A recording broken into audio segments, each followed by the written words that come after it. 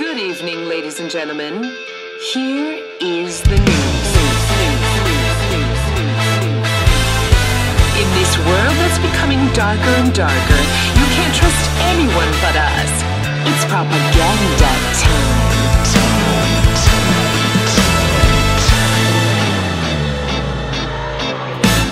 Turn off the screen, don't believe a thing they say.